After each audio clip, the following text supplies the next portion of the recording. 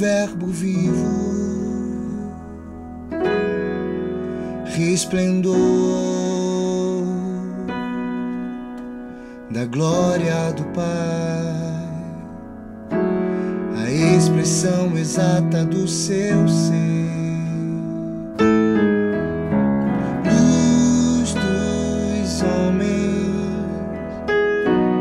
Sustenta todas as coisas pela palavra do seu poder. O Verbo vivo, resplendor da glória do Pai, a expressão exata do seu ser.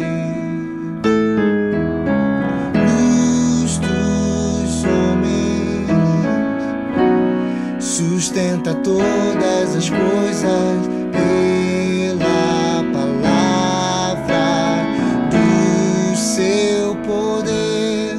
Tudo que tenho pertence a você. Tudo que eu tenho fala de você. Tu és o meu pastor. Tu és o meu pastor. Tudo que tenho pertence a você.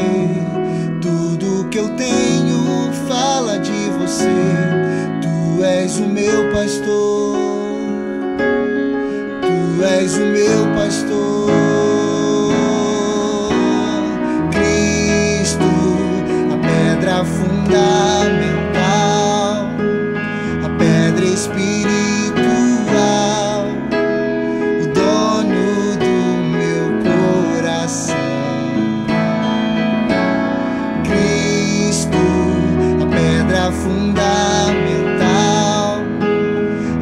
pedra espiritual,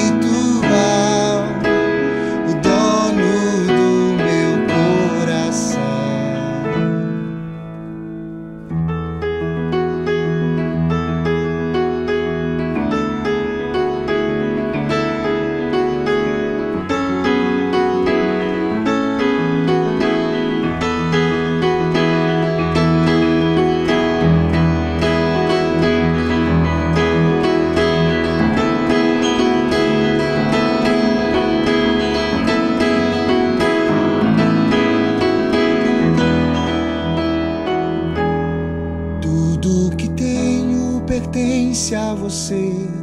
Tudo que eu tenho fala de você. Tu és o meu pastor. Tu és o meu pastor. Tudo que tenho pertence a você. Tudo que eu tenho fala de você. Tu és o meu pastor.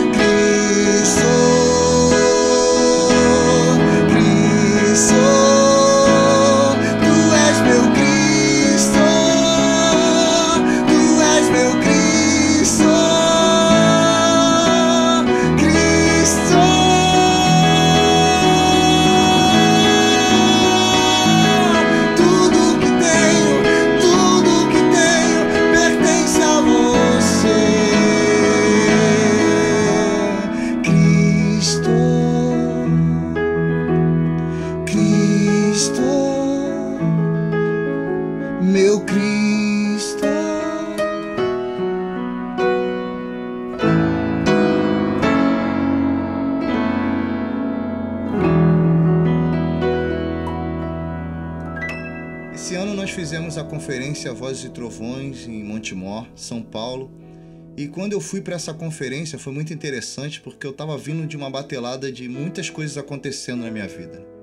Conquistando algumas coisas, algumas coisas ruins acontecendo e ao mesmo tempo meditando e estudando muito sobre a missão de Deus, Colossenses 1, do versículo 15 ao 17, onde fala justamente de, do Cristo ter criado todas as coisas para ele, por meio dele, ele sendo o, autor dessa, dessa criação. Durante um momento de música que nós estávamos lá em Montemor, parece que isso saltou, sabe, na minha, na minha mente. E, e, surgiu isso, né? Tudo que tenho pertence a você, tudo que tenho fala de você, apontando justamente para ele sendo criador, né? Como direito, ou seja, ele é o dono, ele é o dono da minha vida. Ele é o dono de tudo que eu tenho, tudo que eu estou passando hoje. Na verdade, tem a ver com Ele, tem a ver com o que Ele está fazendo. Nada é fruto de um acaso, entende? Nada é fruto do que das coisas que estão acontecendo por acontecer. Se Ele é o Senhor do universo, se Ele é o Criador, logo Ele está regendo a minha vida, Ele é aquele que está controlando a minha vida. Então isso, isso saltou na minha mente, sabe? Tudo que eu tenho pertence a você, tudo que eu tenho fala de você. Tu és a pedra fundamental, tudo está edificado em você, para você.